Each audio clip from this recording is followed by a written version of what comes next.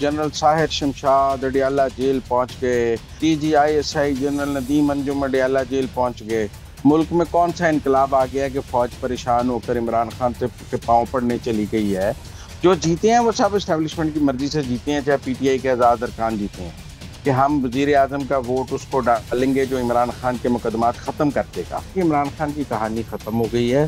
پرویز کھٹک کو بہت کہا گیا کہ آپ پیپلز پارٹی یا نون لیگ جوائن کر لیں۔ السلام علیکم۔ اندر کی بات مزمر سوروردی کے ساتھ میں ہوں صوبیہ اشرف اور میرے ساتھ موجود ہیں مزمر سوروردی صاحب۔ السلام علیکم مزمر صاحب۔ وعلیکم السلام۔ مزمر صاحب یہ بتائیں کہ خبریں آ رہی ہیں کہ عمران خان سے جیل میں مذاکرات ہو رہے ہیں اسٹیبلشمنٹ سے۔ آپ کے پاس اندر کی بات کیا ہے؟ کاکھ مذاکرات نہیں ہو رہے۔ کوئی یہ جتنے لوگ اڑا رہے ہیں نا کہ جی وہ جنرل ساحر شمشاد، اڈیالہ جیل پہنچ گئے، صدر عارف الوی، اڈیالہ جیل پہنچ گئے، وہ D G I S I general Nadeem Anjum, Adiala jail پہنچ گئے۔ بھائی کیوں پہنچ گئے؟ کیا ہو گیا ملک میں کہ وہ ڈیالہ جیل قیدی نمبر آٹھ سو چار عمران خان سے ملنے پہنچ جائیں گے؟ ملک میں کون سا انقلاب آ گیا کہ فوج پریشان ہو کر عمران خان سے کے پاؤں پڑنے چلی گئی ہے؟ مجھے تو ایسی کوئی صورتحال ملک میں نظر نہیں آتی کہ فوج کو عمران خان سے بات کرنے کی ضرورت پیش آئے۔ وہ فوج جو الیکشن سے تین دن پہلے اکتیس سال قید سنا رہی تھی، آپ کا خیال ہے نو فروری کو پاؤں پڑ گئی ہے عمران خان کے؟ ان کا ہاں خیال ہے کہ عمران خان نے فوج کو شکست دی ہے اور فوج نے شکست مان کر عمران خان کے آگے سرنڈر کر دیا ہے گھٹنے ٹیک دیے ہیں۔ کوئی ہمیں یہ سٹوری بیچنے کی کوشش کر رہا ہے کہ پاکستان کی فوجی قیادت نے عمران خان کے آگے گھٹنے ٹیک دیے ہیں تو میں نہیں ماننے کو تیار۔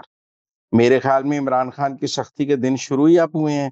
ایک الیکشن کا رولا تھا جس کی وجہ سے سب کے ہاتھ پاؤں بندے ہوئے تھے کہ ملک میں انتخاب کرانا ہے، وہ پھر انتخاب میں مسئلہ ہو جائے گا فری اینڈ فیئر انتخابات کا رولا پڑ جائے گا، پی ٹی آئی کو حصہ لینے دینا ہے، عمران خان کے مسائل ہیں۔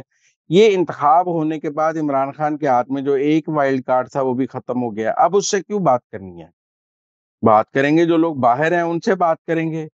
ان کو اور وہ لوگ بات کریں گے اسٹیبلشمنٹ کے ساتھ۔ جو جیتے ہیں وہ سب اسٹیبلشمنٹ کی مرضی سے جیتے ہیں، چاہے پی ٹی آئی کے آزاد ارکان جیتے ہیں۔ جو نہیں جیتے اور اسٹیبلشمنٹ نہیں چاہتی تھی کہ وہ جیتے۔ تو میرا مطلب ہے کہ عمران خان کے ساتھ بات کرنے کی کوئی ضرورت ہی نہیں ہے۔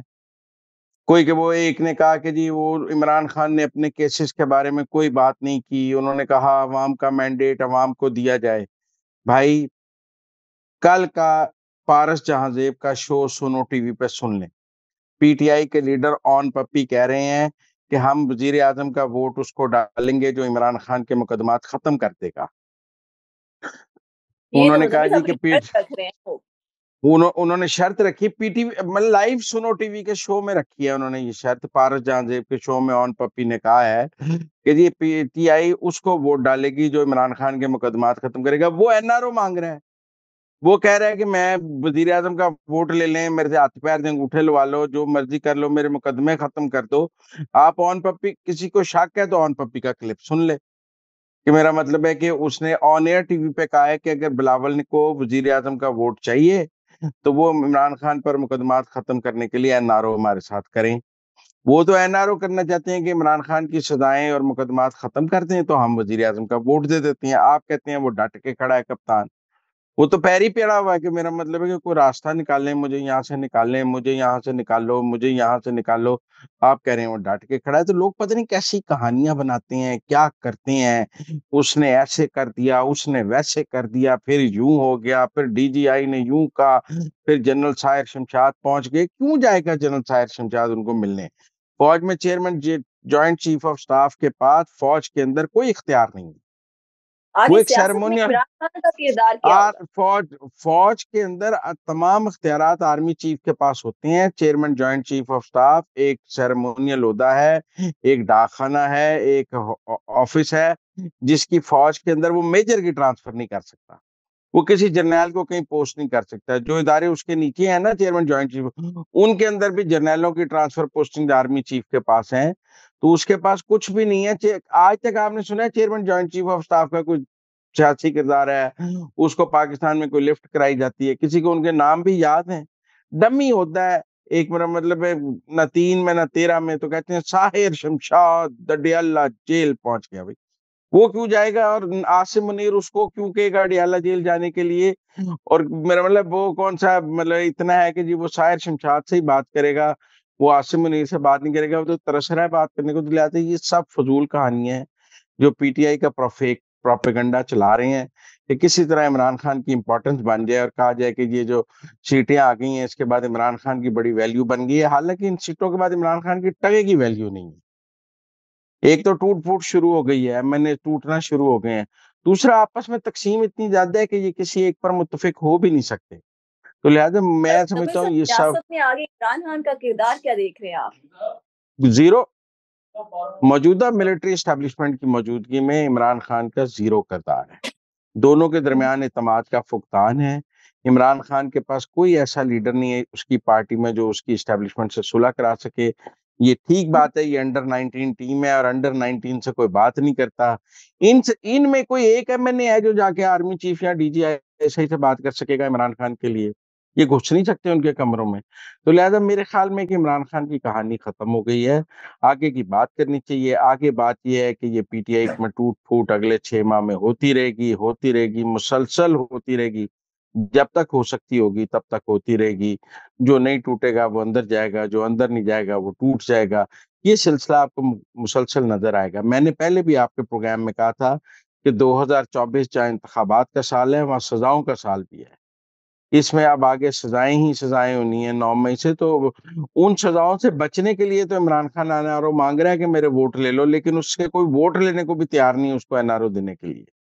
وہ کہتے ہیں میں ویسے ہی مل آپ نے بات کی دو گروپ جو تحریک انصاف کو ٹوٹ کے بنے تھے ایک جہانگیر ترین نے بنایا تھا اور ایک پرویز ہٹک نے بنایا تھا۔ جہانگیر ترین صاحب تو آئی پی پی سے نہ صرف انہوں نے ریزائن کیا ہے بلکہ ساتھ ہی انہوں نے سیاست کو بھی چھوڑ دیا ہے۔ سر آپ میری بات سمجھیں۔ سب کہتے تھے کہ یہ جماعتیں اسٹیبلشمنٹ نے بنائی۔ کہتے تھے نا جی آئی پی پی اور P T I parliamentarian establishment نے بنائی ہیں۔ بھائی اگر اسٹیبلشمنٹ نے بنائی ہوتی تو وہ اپنی جماعتوں کا خیال کر لیتے۔ آپ پاکستان کی اسٹیبلشمنٹ کو اتنا ماڑا اور اتنا کمزور سمجھتے ہیں کہ وہ جہانگیر ترین اور پرویز کٹک کو جتوا نہیں سکتی۔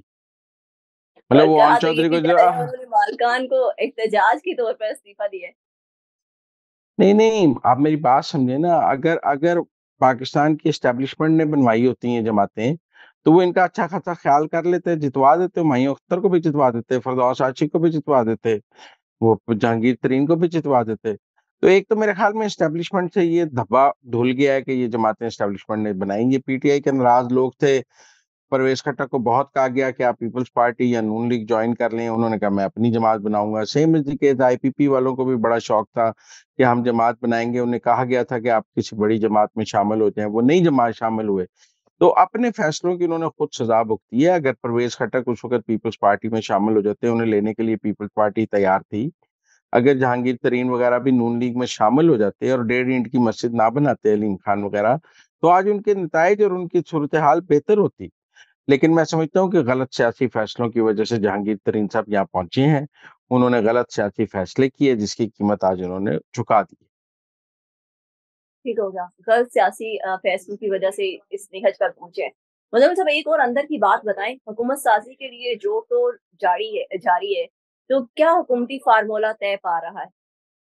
ابھی تک کچھ طے نہیں ہوا۔ ڈیڈ لاک ہے۔ پیپلز پارٹی اور مسلم لیگ نون کے درمیان شدید ڈیڈ لاک ہے۔ اوپر اوپر سے سب کہہ رہے ہیں کہ اتفاق ہو گیا، اتفاق ہو گیا۔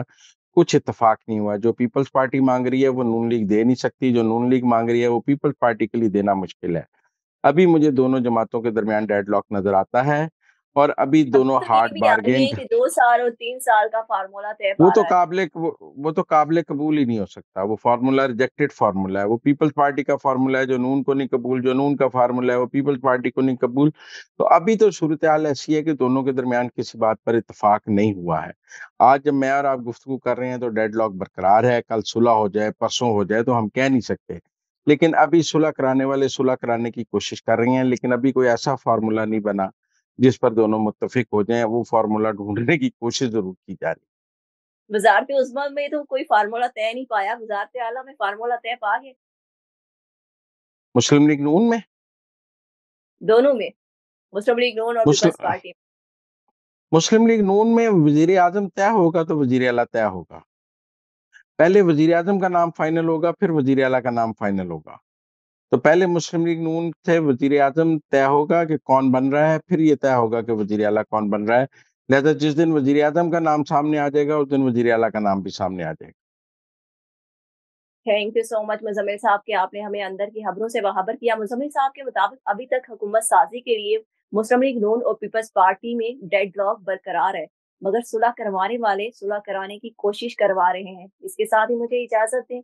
اللہ حافظ۔ you